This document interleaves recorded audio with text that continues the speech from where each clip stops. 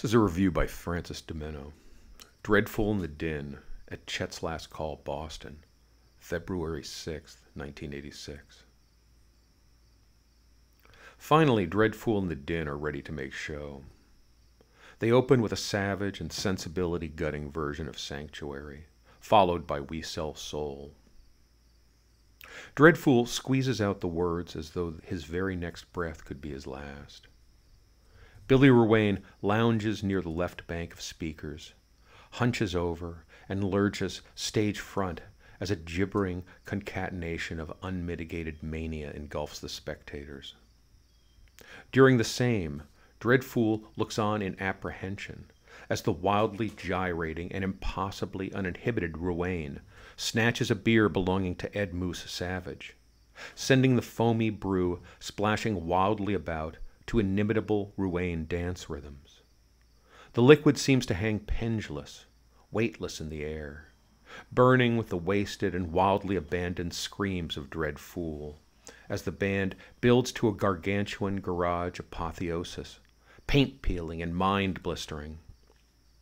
From the effulgent, negative universe boogie of Putdown, Dredd Foole and the Din launch straight away into Believe, it starts out strong and keeps getting stronger, turning into a sound like the roar of some sleepy stone giant who awakens to find that all his kind have passed to dust innumerable eons ago. I'm so tired, is the articulated form of this howl of agonized solitude and defiance. Moose flops about in a seeming frenzy, and Billy Ruane, covered with sweat, looks tiny, pale, and fragile, and is soaked in beer. The pace of the song briefly slows, then veers back to boulder bursting frenzy, which seems capable of cracking the earth itself asunder like the shell of a giant stone egg taunted between galactic pincers. Should have known better comes as an enormous assault volume rage raga as full of clutter and din as the mad ambience of Chet's acoustics can make it. For alone, Dredd Foole's burnt voice gutters out from the lambency of earlier diatribes, but nonetheless he shouts, I don't feel like Jesus' son, and convulsively wrenches himself about, seemingly in the grip of some inalterably illogical frenzy, totally divorced from any hint of cognition.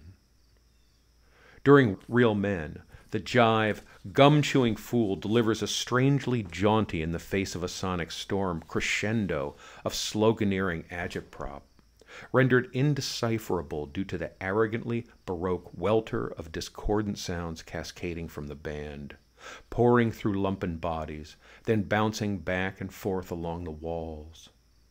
Stooges cover, down in the street, a twisted recital of God knows what is next describable only as snarl faced, pencil limbed chaos, resolving itself into more chaos still.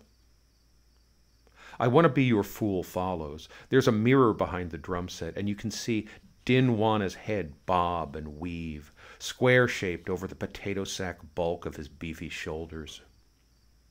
Moose adds a vocal chorus, then begins to slam dance with a nitwit in a Zappa t shirt another nitwit wearing a cap with an expandable plastic band, and yet another nitwit sporting a Postal Service work shirt.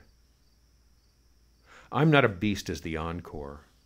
Billy Ruane, drunk, slouches near the left speaker bank and seems to be melting.